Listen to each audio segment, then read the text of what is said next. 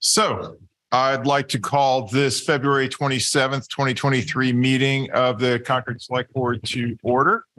And we'll start as usual with the consent agenda. Could I have a motion? Motion to approve the consent agenda. Second, Okay, all in favor? Um, Aye. Oh, and also sh- I should just note that Mary Hartman, a member, will not be able to join us tonight. So we are four, but we are a quorum. Okay. And could I just note on the January thirtieth, twenty twenty-three minutes on page six, um, it lists the consent agenda uh, and shows the TIF was on that, and I believe we pulled it off. No, I think we did the vote, but it wasn't sufficient. We did, we Yeah. did a vote, but it wasn't a sufficient vote. We, and, and so council has now told us, well, actually, it wasn't council, it was, The state. the state uh, told us we agency. need to Yeah. go through a more elaborate procedure. Okay, good. Thank you. On the TIF thing? Yeah, Yeah. we'll, we'll get to the TIF. Yeah. Okay, thank you. All right. Um, Of the vote. oh yeah, so all in favor? Aye. Aye. All right, thank you. Now to the town manager's report. Thank you and, and good evening. Um, we are preparing for a storm response beginning later this evening. We do expect um, a significant storm starting at about 11 o'clock this evening. We will have our, our uh, winter operations crew coming in at 11 PM. We will have our snow desk covered beginning at 11 PM. Um, any resident who's interested or has any concerns about non-public safety response, they can reach our winter operations crew at 978-318-3220. Um, that that's something that we have operated for years. We've actually had the same person, Tish Hopkins, who has been answering that phone. I heard earlier today for 25 years, but I'm not sure that we've ever advertised that, but that is available um, 24 hours a day during our snow response. Uh, we do expect the the storm to cause significant issues with the morning commute, but hopefully that will taper off. And in the interest of time, the only other update I wanted to provide this evening is on the DHCD family shelter. As I let you know, uh, over the weekend, last Friday, February 24th, we were able to have our second meeting with DHCD staff. Uh, we had several town staff members attend that, as well as Dr. Hunter, and both Senator Barrett and Representative Cataldo were also in attendance at that meeting. So, what the, the new information that we learned as a result of that meeting is that there are nine parties who have been living long term at the Best Western. And I mentioned parties because uh, some are individual, some are family or, or non related um, parties living at the shelter. As I mentioned before, this this was news to us. We did not know that anybody was living there long term and um, and we definitely have resources available to people and and we do hope that they reach out to our community services coordinator. But six of the nine parties will be staying at the best western. Three have been offered um, alternative accommodations and they they were all offered al- alternative accommodations. Three of them have availed themselves of that six will be staying uh, the opening date for the shelter has been moved from March 1 to March 13th. Um, this may get pushed out again, but probably not for any significant amount of time. DHCD will still rent all remaining 99 rooms, eventually up to 90 rooms of the would be used for sheltering uh, families or individuals on an emergency basis, and the other nine will be used for offices. Um, at this point in time, DHCD intends to use the facility as an intake center, replacing the center that they have set up at Devens. And as part of an intake facility, they will be offering emergency housing to um, people for three to five days and case management services before they're transferred into um, longer term housing options. DHCD is interested in using this facility uh, for longer term housing as well, but we are still working with them on um, a code, a building code review. That out that item is still outstanding with us, and the issue there is that um, our building commissioner needs to be sure that the facility meets the code requirements that would be required for housing that is in excess of, of 31 days. Um, at this point in time, MOC making opportunities count is still identified as the on-site case manager, although um, as of Friday, I don't believe that they had finalized their contract with DHCD. Um, our community services coordinator, Bonnie Wilbur, has been in touch with MOC, and she stands ready, willing, and able to coordinate any um, volunteer or donation opportunities. We, we've been hearing from a lot of people that they're interested in helping, but there's we don't have anything to any advice to be able to provide people at this point in time because they're still trying to um, to work that through. So I will stop there, and I'm happy to answer any questions. Uh, questions for the town manager? Yes, Terry. Uh, when you say intake center, um, I guess that means someone greets the people, offers emergency shelter. Um, is that the crux of it, or is, or what else? So um, yes, they they would be connected with a case manager who would um, understand what the need is of of the individual or family presenting, and then set them up with services. Um, so three to five days would be is what DHCD considers emergency housing, and that would be provided on site at the Best Western, and then anything after that at this point in time um, people would be moving on to another housing situation. One thing I did not mention is um, uh, there's certainly a, a, concern about school age children and and what they do. Um, the Department of uh, Education, was in attendance at that at that meeting as well, and what they said is that they do not encourage um, placement of when when somebody is in that situation emergency housing for 3 to 5 days they're they're really setting aside educational needs just for that period of time so uh, for for people who are there for emergency shelter they will not not be likely to um, be entering the public school system for that short of a time Other questions for the town manager? Okay, for my chair's remarks, I just want to call your attention to one thing, which is uh, the upcoming Warner's Pond uh, public meeting. So uh, I'm right now uh, sharing on the Zoom the flyer that went out. It also has a 2D barcode that you can scan to take a survey um, about the future of White Pond. Uh, as you may be aware, Orange Pond. uh, Warner's Pond, excuse me, the other pond, the other one of three W ponds in Concord. So Warner's Pond, uh, there was a previous plan for dredging and funds that were allocated to that purpose. Uh, but the bid that came back was several times the amount that had been allocated. And so now there are alternatives being proposed. And the survey walks through the alternatives and tries to get your feedback on them. Um, and there will also be this public meeting on Thursday. Um, it is uh, going to be here uh, in the hearing room, uh, but there also are Zoom access instructions uh, on the flyer. So if you look at the town meeting calendar, you'll see that and uh, you can join. Uh, just share all this because uh, previously not all the information was uh, available.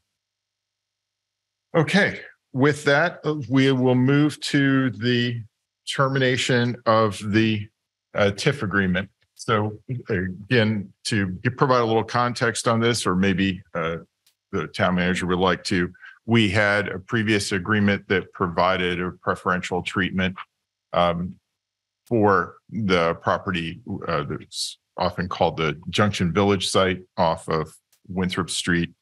And uh, there was an agreement uh, with the Junction Junction Village Limited Partnership to provide preferential tax treatment. Um, I have recused myself from uh, deliberations regarding the site, but I don't know, terminating this agreement doesn't seem like a, a kind of a conflict to me. Um, because the developers included their pursuit of the agreement. Do you have the memorandum in the packet? It Yeah, is, okay. Yeah. All right. so that explains why it is that we now need uh, three different motions to conclude this arrangement. So could I have a motion unless there's further discussion or deliberation? Move to terminate the tax increment financing TIF agreement dated as of December twenty twenty, the TIF agreement between the town of Concord and Junction Village ALF Limited Partnership, the developer relating to the Christopher Heights Assisted Living Facility proposed to be constructed on land identified as assessor's parcel number 8D 2013 1, the project. Do I have a second for that? Second, Okay, all in favor? aye. Move to petition the EACC, I'm not sure what that is, Executive Office or whatever. Look that up. I, One second. Skip that one while Carrie looks that up. We'll do the last one. Move to authorize the town manager or her designee to do all things necessary to effectuate these actions. Um, seems a little out of sequence. Yeah, it does. we- All right, we'll wait. Okay. Thanks. Move to petition the Economic Assistance Coordinating Council to decertify the TIF agreement as the developer has provided notice that it has no intention of meeting its expected completion timeframes in section B three, i.e. expected completion by July first, twenty twenty-two, or no later than July first, twenty twenty-three in the event of construction delays. Do I have- And move to authorize the town manager or a designee to do all things necessary to effectuate these actions. Do I have a second? Second, All in favor? aye. Aye. Okay, now we'll move to our next item, which is a public hearing for the application of a transfer of license uh, and change of manager for Artichoke Incorporated, Okay, move to open the public hearing. which is doing business as Vintages Adventures in Wine to Ms. Megan K. Elwell. So could the applicant step forward? Okay, move to open the public hearing. Uh, Do I have a second for that? Second, All in favor? Aye. Yes, have a seat. Uh, Is the light green on your microphone there? Uh, yes. Okay, excellent. Thank you. Ms. Elswell. So can you describe a little bit about your application? I, I think we have the materials, Okay. but Um, so Vintages has been in business as it is for um, 23 years now. Um, and the current owners are looking to move on to other projects. It's quite some time um, and they're handing the business off to me. So we're just in the process of uh, doing what needs to be done in terms of transferring the license um, and continuing the business as is. okay. Now, I did have a couple of questions. I mean, one was about the inventory. It appears that there is some inventory that remains from the former owners and will continue to be on site. Yes. But then you, and, and it doesn't sound like there's a transfer of inventory or that you're purchasing inventory from them, or is that part of just the $1 arrangement? Yes. Yes. It's, Oh, all, okay. it's all included. It's a very, uh, very, very generous uh, I was going to say that, Yeah, it's uh, very much a family kind of um, atmosphere and this entire transaction. If I could find a word to describe it, it would be kind of a family transition. I see. Okay. Yeah, because uh, some of that inventory is quite valuable. I And delicious. um, so, um, and do you intend to continue operating the store in, in a similar vein? I mean, Uh, absolutely. Um, I've been a wine professional for about a decade now. Um, I've been with uh, Vintages for uh, cusping on four years. Um, it's a very unique and special um, store, as, particularly as far as wine goes, um, which is how I ended up there. Uh, I'm not, oh, okay. So yeah. you were seeking this destination and you arrived there. And if, Oh, absolutely. Yeah. Yes, Yeah. for sure. Um, but to summarize, yes, it will be continue very much as is. Um, there won't be any lottery or, you know, kind of lower end things of that nature um, moving forward. I can Okay. plan to keep it much the same. yeah, I don't know if you all are familiar with vintages, but it's a highly specialized wine store, I would say. Um, so, okay. Uh, any questions regarding the, uh, other aspects of the application? No. Any, anything? Okay. Um, then we'll have a motion. Um, you have to take comment from. Oh, excuse me. That's right. Uh, so we will now open to, uh, comment from the public. Are there any comments from the public on this application of transfer of license? Okay, seeing none, seeing none on Zoom. If you, if you're on Zoom, you can indicate you want to make a comment by using your raise hand function. Okay, now we We can take have, the a- motion. should we have a wine tasting? Oh, we that might be considered, uh, you know, maybe might compromise our judgment. Need some. Okay. All right, Okay, move to close the public hearing. all right. Second. Okay, all in favor? I, Aye. Okay, Move to approve the application of a transfer of license and change of manager for Artichoke Incorporated DBA Vintages Adventures in Wine to Ms. Megan K. Elwell. do you have a second? second. All in favor? I, Aye. Great luck with it. Thank you. Thank you very much. Okay, so we are actually a little ahead of schedule uh, for the business that we were going to do before the, uh, the annual town meeting public hearing. So, uh, and of course, we're not going to be taking up reviewing the town meeting warrant articles item. Um, we could do nominations and appointments. Okay, nominations to the Civil War Monument Task Force. Catherine McGrath at one thirty-four Belknap Street to complete an unexpired term to conclude at the completion of the project. And Climate Action Committee, Karen Gibson of sixteen forty-one Main Street for a term to expire May thirtieth, twenty twenty-four.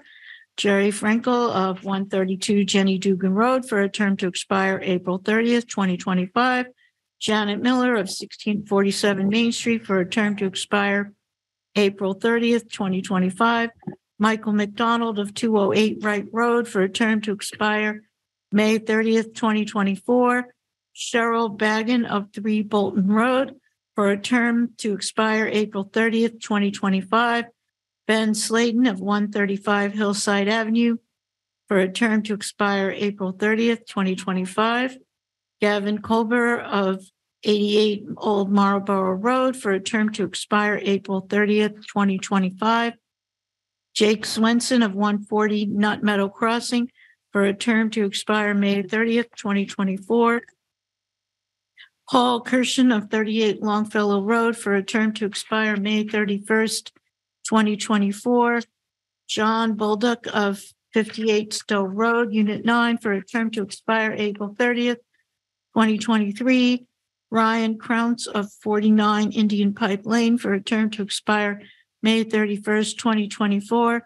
Brad Hubbard Nelson of two twenty-five Nashawtuc Road for a term to expire April thirtieth, twenty twenty-five. And Courtney Eaton of one forty-one Monsen Road for a term to expire May thirty-first, twenty twenty-four. And Planning Board. Robert Almeida of twenty-eight Comerford Road to complete an unexpired term to conclude on May thirty-first, twenty twenty-four. Thanks for that. And also I would just note that uh, following the charge that we have for the Climate Action Committee, the initial membership is 13, which means that a quorum will be seven members. Um, also, there is one member whose term will expire very shortly, uh, but we're just getting them on board to get us a good start. So is that thirteen people? It's 13 people. Okay. Yeah. And that's how many we're going to have permanently? No, the, as the charge states, uh, Right. as members roll off, it will decline until it gets to nine members. Okay. Okay?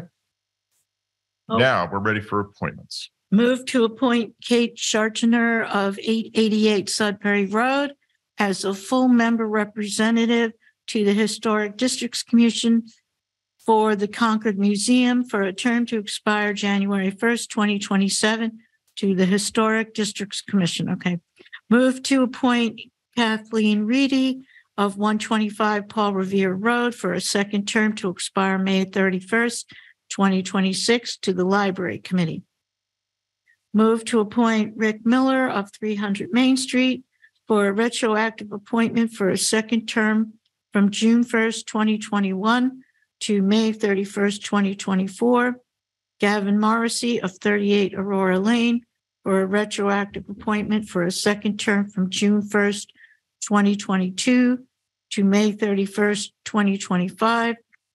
Jennifer Ubaldino of thirty-eight Tra- Crabtree Road for a second term to expire May thirty-first, twenty twenty-six to the trustees of town donations. Do you have a second for that?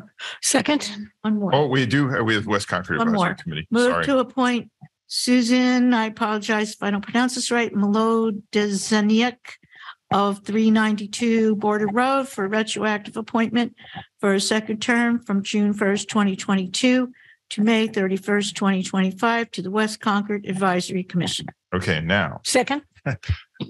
all in favor? Aye. Aye. And can I just confirm that you did read uh, Robert Almeida's name? Yes. Okay, Yes. thank you.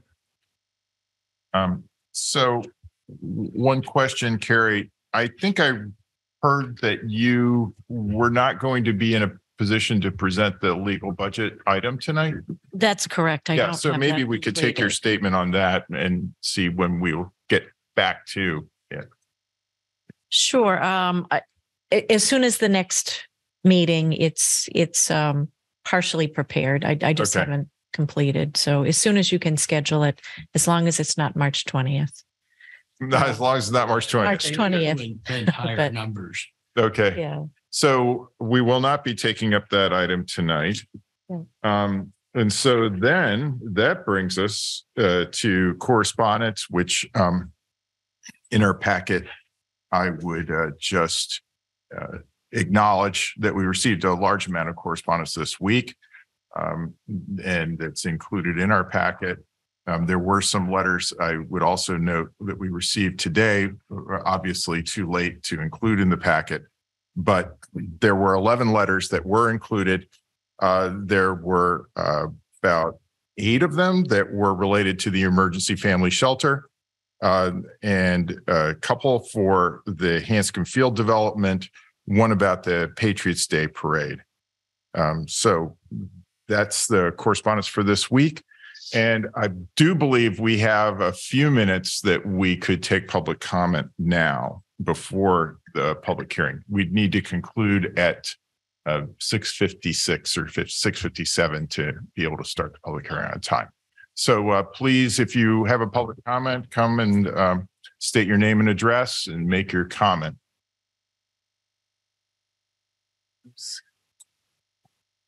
Ellen Quackenbush, can you hear me now?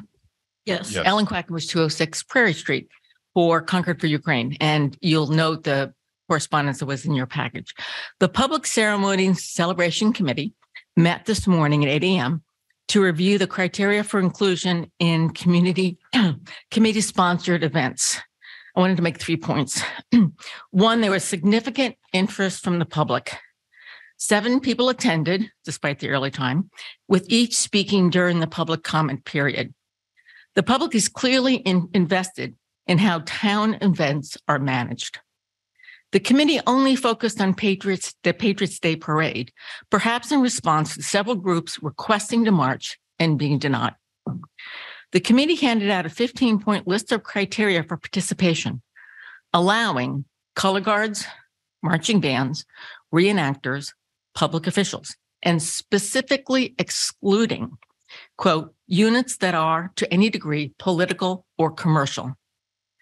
The public noted that the exclusion of political entities would exclude groups such as the League of Women Voters and some groups, perhaps such as Concord Can, that marched last year. Finally, during their discussion, the committee modified the participation in the Patriots Day Parade to be the sole discretion of the committee. Specifically mentioning, and I'm sorry, you can see this in the notes, they're concerned that the select board might get involved. I think that this violates the committee's charge revised December 2022 that states that the committee has complete charge with the approval of the select board of public ceremonies. We don't believe that any committee should have the last word on a public event as important as the celebration of our nation's birth. Patriots Day is a time for patriots. And the U.S. has been actively involved for over one year in the brave Ukrainian patriots' fight for their freedom. We respectfully request, and this was in my our letter as well, that the select board review the committee's criteria for the Patriots Day parade and ask if they revisit their denial for uh, the Concord for Ukraine's participation. Thank you. Thanks for your comment. Other comments from the public?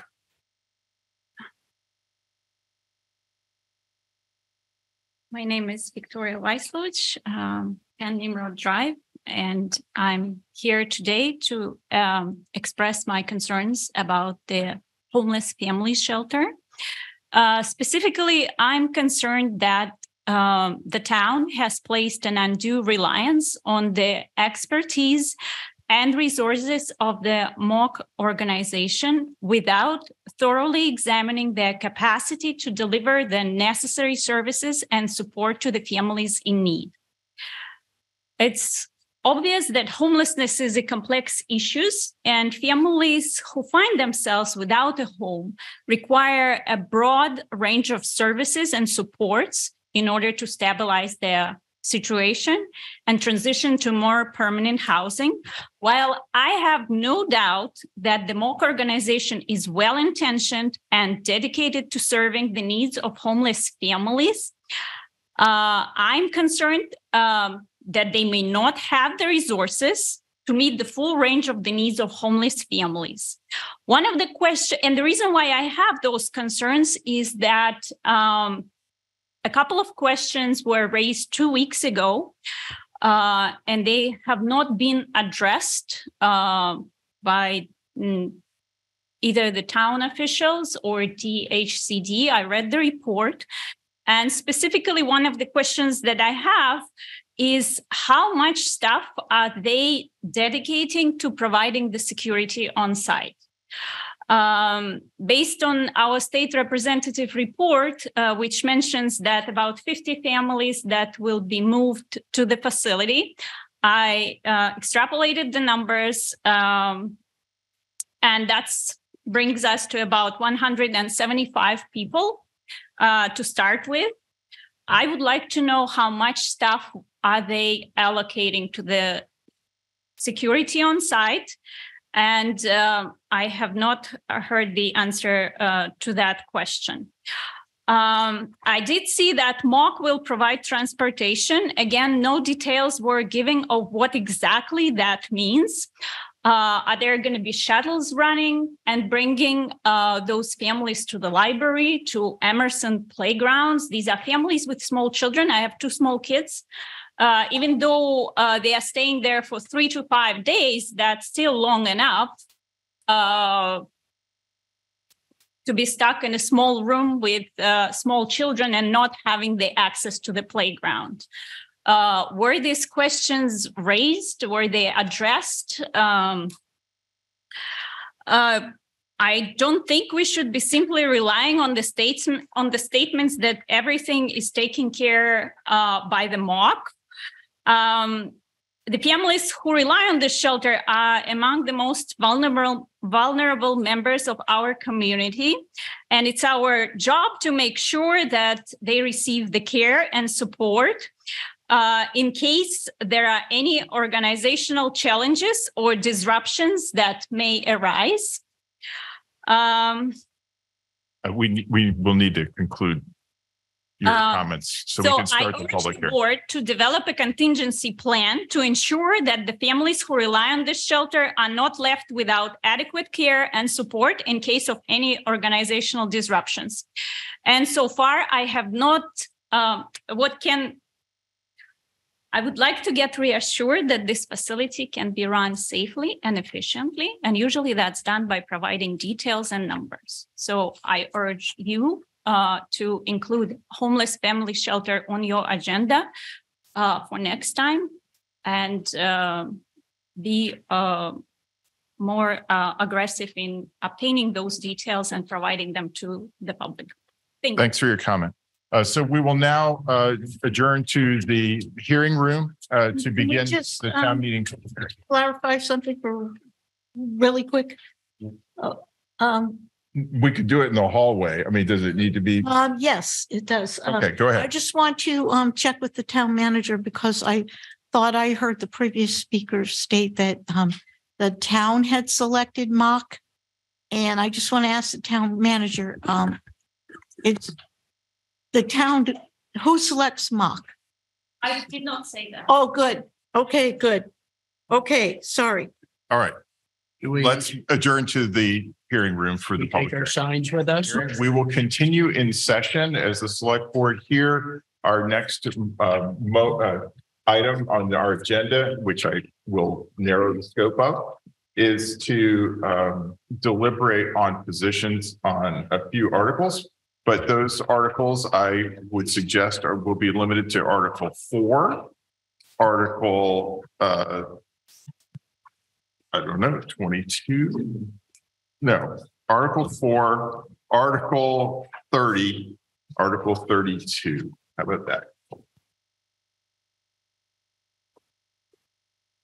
And because in part, because uh, Mary Hartman is not here this evening, Hmm. and I think should have an opportunity to weigh in on any articles that have any controversy, but I did note, note that Articles four, thirty, and thirty-two did not have any Okay, debate to speak of or, or all right, concerns raised. all right. Are you looking for a motion? Yes, Okay. I move that the select board support, all right, have her uh, recommend for affirmative action. recommend affirmative action on articles four. Uh, I think we usually do them one at a time. and thirty, all right, article four. I So- vote that this, I move that the select board uh, recommend affirmative action on article four. Okay, do I have a second? Second. Okay, all in favor? Aye. Okay, uh, Now, I only heard two of us. whoops.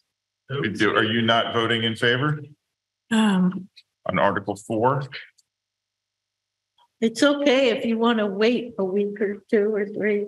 You're not ready to vote. yeah, I'm not, Article I'm, I'm four not- is the, I know, I'm not ready to vote on it because the, there were categories um, that were yet to be defined.